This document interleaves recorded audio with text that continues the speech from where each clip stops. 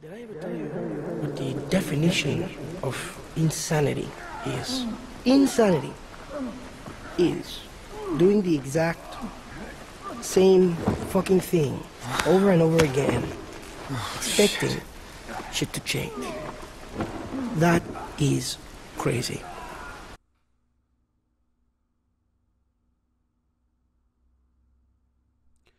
Hello, I am Sanji Himura. I'm joined today by Mellow Online 1. Hi there, everybody. Hope you're doing all right. Today we're going to uh, talk about the culling on a special W2 Report Extra. So stay tuned, buckle up, and enjoy the show. Today we're going to talk the culling and its bizarre monetization scheme, which I have in front of me right now. So, uh, Mellow, do you have any thoughts opening it up? Do you have any opening thoughts uh, in discussing this today? It it's shit. End of the story. Thank you for watching this video. Like and subscribe and goodbye. well, we're going to get into the monetization scheme up close and personal today. So today, the well, the culling has been released on Xbox One, coming soon to PC. So, with that said, we have a nine uh five ninety nine upfront cost. Oh joy, does it smell suspicious enough already? Just to give context, the game launched. Uh, when did it launch? 2016, 2017 ish into early access. It costed first. I don't remember like the RRP off the top of my head. I think it was at about seven bucks. Right. Um, then it failed. Basically, they launched the Culling Two. Um, that failed. It was like overdosed with negative reviews. It was one- some have called it one of the worst games ever made. Um, and then to regain some of the reputation back, what they did was they went back to the original culling, and then they were like, because basically they made a bunch of the game. People loved the culling at first, but then a bunch of updates came to the game, and it basically deteriorated the quality. So they were just all like, okay, we're going to revert a few updates back from the culling to back to when everyone liked it. Um, we're going to make the culling free. It was free to play, and then we're going to get their money off the microtransactions in the game, where it was like you buy crates with like equipment, gear, weapons, whatever you want.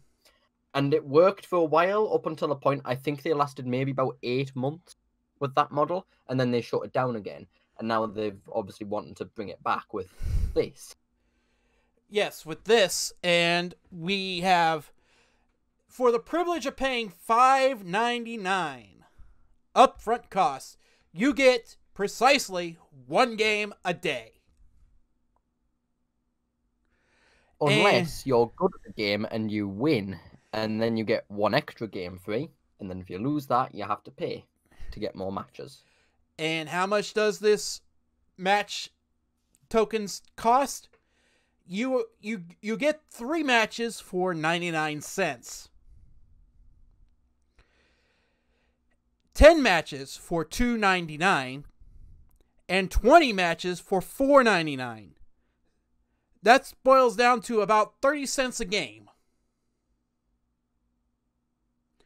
And then if you've my got math the is right. pass, and then you have the online passes.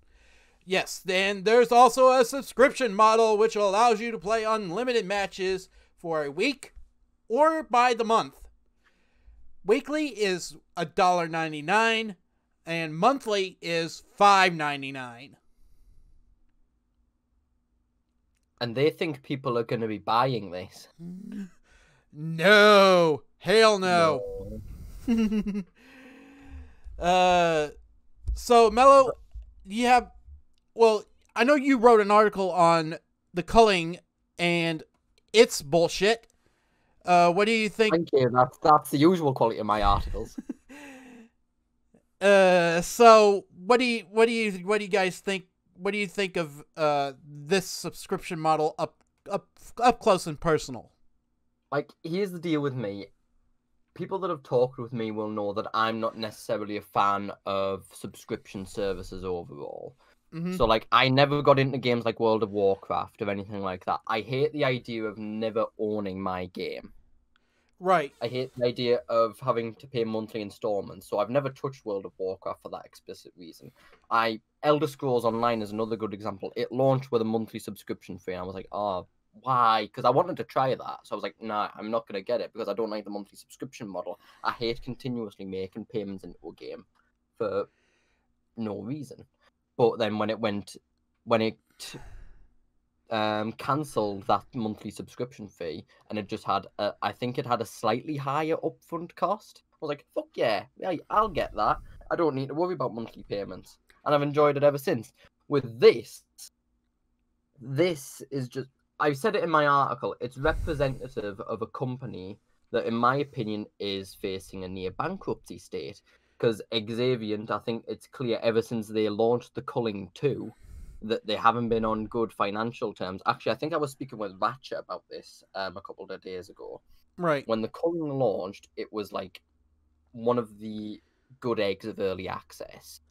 People liked the game. It was one of the one of. I'm not going to say the because it'll just be a controversial statement. Then then there's going to be people saying actually there was a mod released in 2004 that had this, this, and this. It was one of the original battle royale games, and it had a unique identity to it. It wasn't like PUBG versus H1Z1 or anything like that. It was distinctive because it was a first person game with survival elements in it where you set traps and there was only 16 players, blah, blah, blah. It had a unique identity in comparison to a lot of the other Battle Royale games. Well, I mean, there wasn't any Battle Royale games besides Z1, or that's its current name right now, was H1Z1.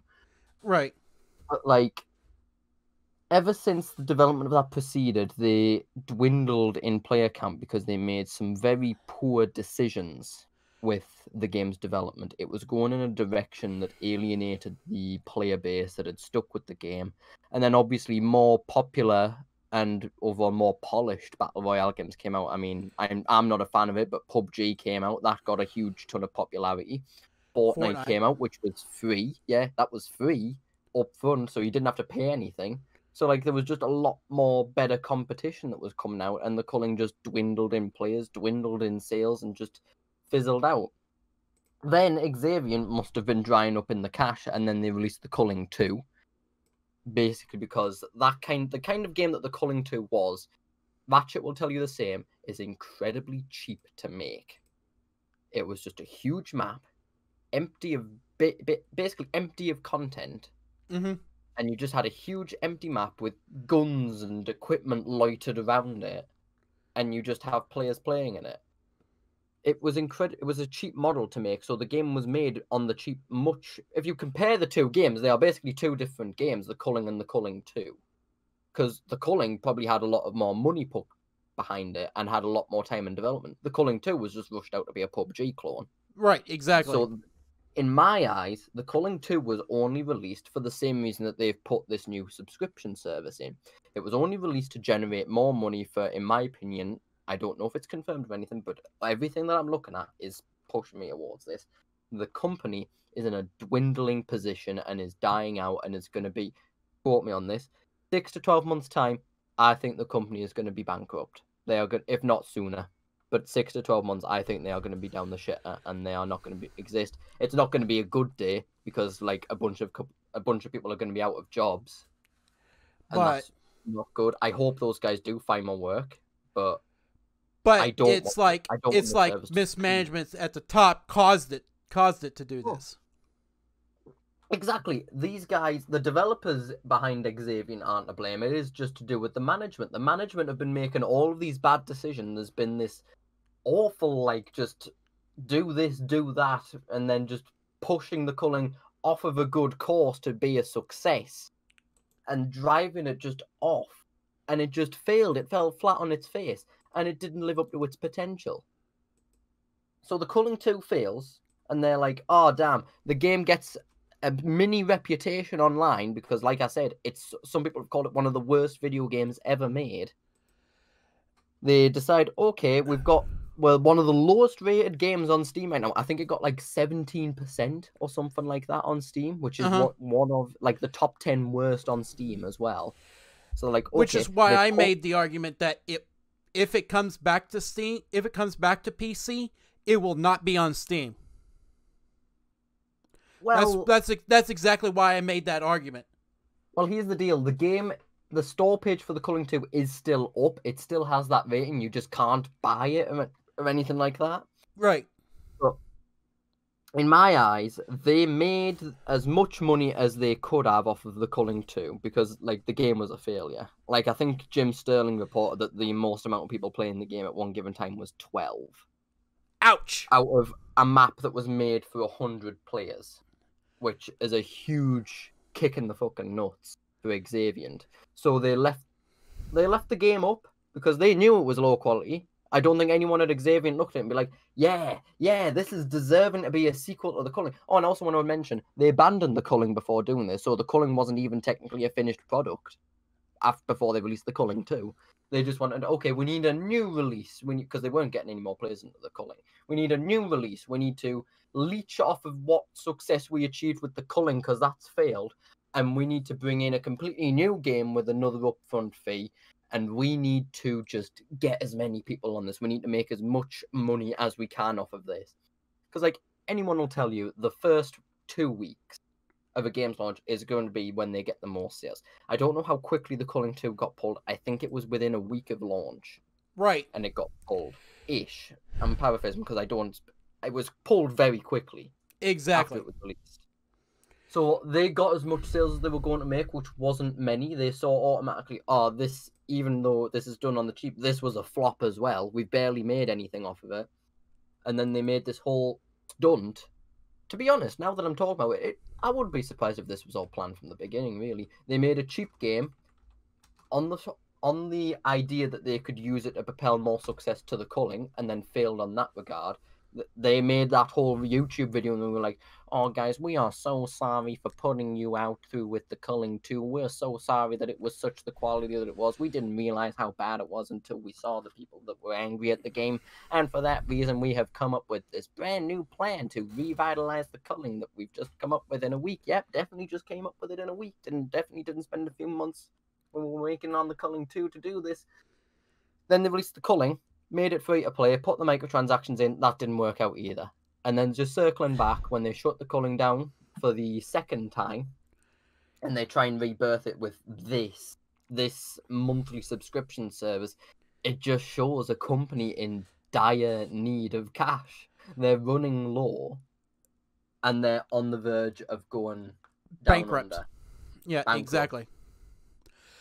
And what's even what's the dev diary aside, what what's amazing about the de- dev diary is that Josh Van Veld, you'll see you'll see him on the screen right now, is saying his stuff with a with a straight face. hmm Yeah, that's just that's because what's his position at Xaviant again? I've forgotten. Is it like the Director of What operations. director of operations? I was thinking the mop, the dop. What is it? Yeah, director of operations. All of them are like that. They have, like, I hate to launch any personal attacks on them, but it's like they have no soul. They Exactly. have no They- they- investment in the they- game. They're just in business. they they they lost their soul a long time ago mm-hmm. and i know i know that i know we're saying a lot about that but with that statement but It's true. look it, yeah exactly. Exactly. It's a, it's exactly true. Because josh van veld is saying this dev diary with a straight face. Like he believes what he's trying to sell. Yeah, he genuinely th- because here's the thing: a director of operations, like I have no, I'm not going to pass judgment on the guy off as an individual, but typically a director of operations do, could not give a shit about the quality of the product. They are just all about right business, business, business. How can we get as much money into this company as possible? That's another reason why I think this is just going to get dire. That is a desperate financial move for them to pull if they want to implement a model like that into the culling. if i Like- may make a comparison here hmm I think Josh Van Veld learned his stuff from Sergei Titov. Oh yeah, clearly bum buddies. But the deal is it's not a, a consumer friendly move at all. That's No, been made no, clear. no, no. it is absolute. It absolutely should be made clear that what the culling is doing is absolutely absurd. Like, if I was director of operations at Xaviant, I would just tell them because, like, they've they've got another game on Steam. It's Right. not related to the culling. It's their oldest title, Right. but like they've shown they can like it's got mixed reviews, but from the people that I've talked with, that people think it is generally pretty good. It's called Lichdom Battle Mage. And they also released another game just um, back in December called Don't Die Minerva. They have dabbled or tried to dabble in like other work outside of the culling. Um, but the Dawn Diamond from what I know, it made some money, but not a lot. Okay. Uh, So they what, probably just what was the other game outside of that that that one you just mentioned? um Lichdom Battle Mage or Lichdom. I'm not sure how you really say it. But if I was DOP, I would Ah, say, it guys, is. we need to move away from the culling. That game has failed. It's failed twice already. It's gonna fail a third time because I can't see this working. It's failed three times. We had a disaster with the culling too, which resulted in a PR nightmare. We've got, but they've got this as well, which is just a PR nightmare. But the culling too, it just labelled them as we've made one of the worst games of all time. That's not a good look for our company. No. I would say move past the culling. Get other games. Especially, try. especially, don't try a battle royale game. Yeah. Don't try an something that's already an oversaturated market. Battle royales are, well, not necessarily so much now, but for the time period, they were incredibly popular. They were all the range. There was clones everywhere. It had its own like Minecraft phase where you couldn't go anywhere without seeing a clone of it. Right. They need more. They need a broader portfolio. Exactly. And exactly. you don't they've basically just taken um what's those things that you pump a dead bo- not a dead body with but something that you You beat a dead shock. horse. no not that it's oh med- medical medical use uh, a defibrillator a defibrillator they've yeah. used a defibrillator they've used a defibrillator on the fucking Culling's corpse twice and they've just like i am back and then just collapsed back dead again stop doing it if it's happened twice it's dead Dead. stop trying to res- resurrect it D E A D dead. thought you were gonna go DED, and I was just like, "You fucking idiot." Well, they're idiots because they do spell dead D E D. Yeah, probably. Who knows? I'd be Uh, surprised because the game, the Cullings relaunched just. I think it was the day I put my article up. So like, two days ago, they just launched it on Xbox One with this model. Mm-hmm. And they're expecting they're they're expecting to make money off of it, and they're not. They're not going to be making money off of it because like, here's the deal. They in that dev diary that they launched, they were pointing towards, even though it's close and it failed overall. They ignore that. They're just like, thanks to you guys that bought the microtransactions when the culling was free to play, we were able to make the culling last as long as it, and now we're bringing it back again, and it's gonna last even longer. It's not. No, Like, it's not. no. But like, here's the thing: if it failed with the microtransactions and the game was free, that shows you that there wasn't enough interest, even when the game was free, to generate money. If the game has an upfront fee on top of the Xbox Live model subscription, and you have to pay for your matches, that's going to bring in less. That is going to bring in far less than what money they made on the microtransactions. The people that bought the microtransactions were probably the culling fans. And here's the thing there wasn't enough fans to keep it popular. There wasn't enough fans to keep the servers up. Where No. are those fans going to be if there's one, another price point where they have to pay for the game? Two, they're going to have to pay to even play it. Like, it's not even microtransactions where it's like an addition. You have to pay repeatedly to play the game. The culling isn't that great. No. You're not going to get paying. I want to pay six dollars a month to play the culling when you could just go to Fortnite, PUBG, Z1, Z1, Z1. Z1 is free to play on the PlayStation 4, Xbox One, and PC. It is free, no catches of anything. If you think Fortnite's too childish for me, go to fucking Z1. Right. Or even or or do let's let's be completely honest here. Modern Warfare Warzone. Mm, that as well. Because more polished. it is more polished. It's even more polished than Fortnite, I dare say. Yeah, but like his thing, I played the culling back when it was made free to play. I enjoyed it. I thought it was fine. It's not something I want to pay six dollars a month for though.